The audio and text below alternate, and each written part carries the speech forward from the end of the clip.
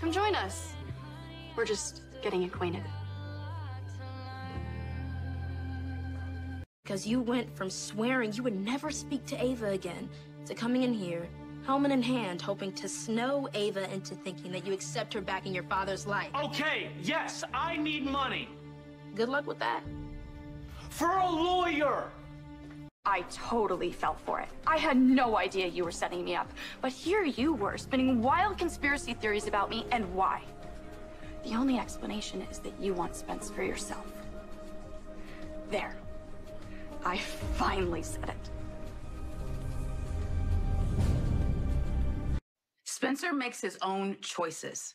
And they're usually very bad choices, which is why he is now serving time in prison. Only for 30 days. Trina. Okay, Spencer has done some stupid stuff.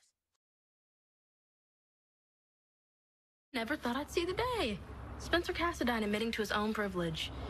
Well, I guess our previous conversations on this topic have not been totally lost on you. Nothing you say is lost on me. Being my friend must be exhausting. That's one word for it.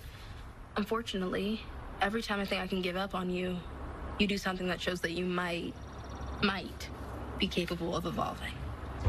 Me, man. You, woman. okay, never do that again.